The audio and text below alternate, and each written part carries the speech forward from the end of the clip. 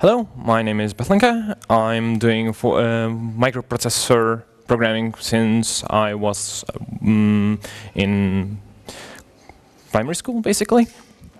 I um, do many things and usually help others who needs electronics. And this project I'm going to present about started um, the same. Somebody came to me, we want to put this kind of LED fan in a disco. This costs around 1,000 euros. Can we do cheaper versions? I told them, well, it seems dirt cheap, some LEDs, some controllers, let's do it. So what was one of the requirements is to use a special standard which these lamps use. It's called DMX. It's for lighting control over like everything. If you look at a uh, light show, like at a big event, usually they use DMX on these cheap lights as well.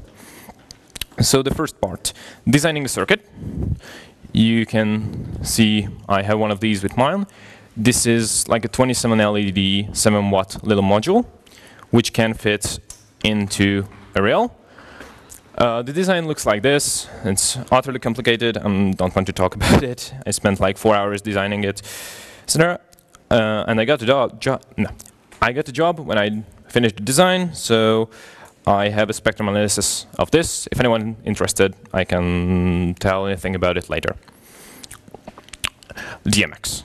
It's what well, it was weird because I never really worked with it. I know it was carried over an XLR or microphone cable. And when I started looking into it, you find that when you do something which was created like 30 years ago, it's this simple. A DMX packet consists of five parts a break, which can take one, one second, a mark, which can also be one second, the start code, a mark, and a channel data. Basically, these five parts are just repeating at every like four seconds. One seconds, long time to work with. I thought an Arduino gonna be good enough for me.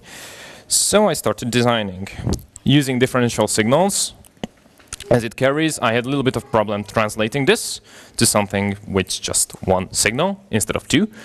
But if you Google DMX to Arduino, it will split out a beautiful IC called the MAX485, which can do the conversation.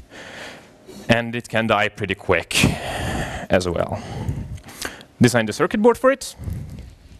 It's basically just the two DMX input and output, the power, the switching circuitry, and the beautiful, beautiful Arduino microchip in the middle. Design uh, asked for GSC PCB for a design. Here it is.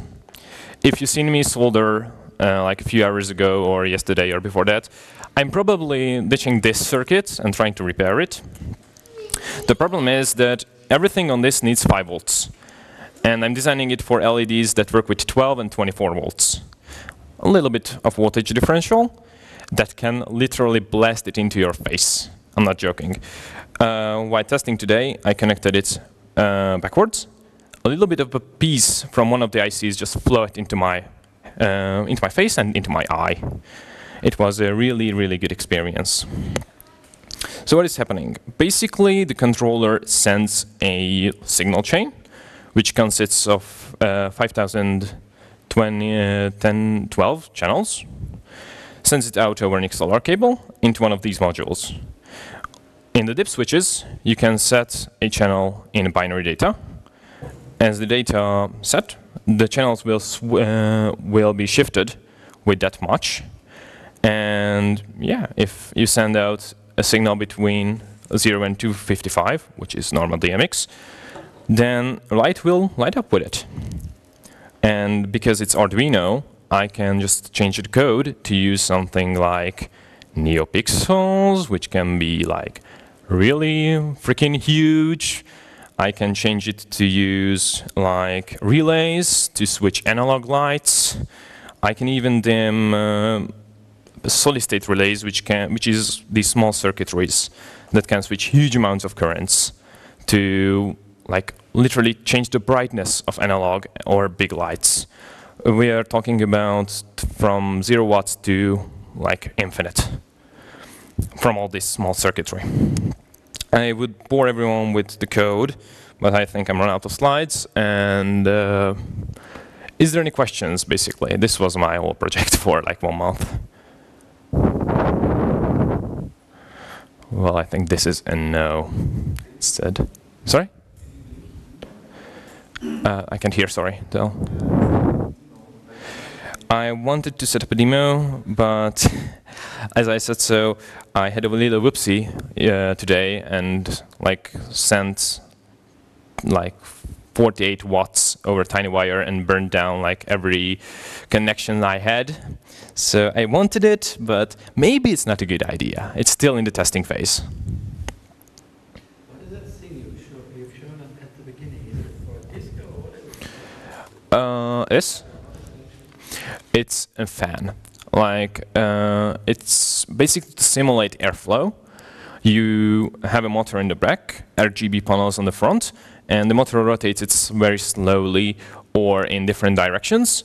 You can program the RGB lights on on the strips, and like it's just for disco lighting. And uh, we wanted to use it because in a very close space we have lots of people, and it really can cool off uh, someone. Uh, the, I calculated the amount of LEDs on each end, and that is how I got this density for this module. Anything else? No? Thank you.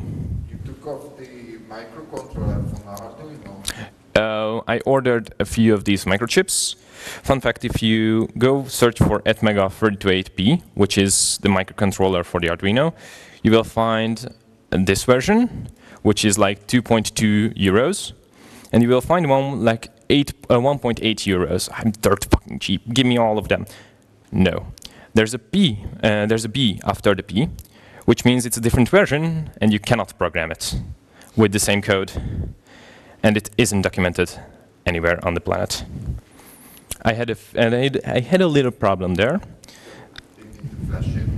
Uh, you have to flash bootloader over an SPI connection, which is just like three wires, and then after you can upload your code onto it, like as same as an Arduino Pro Mini. Anything else? No. Thank you. Thank you for listening.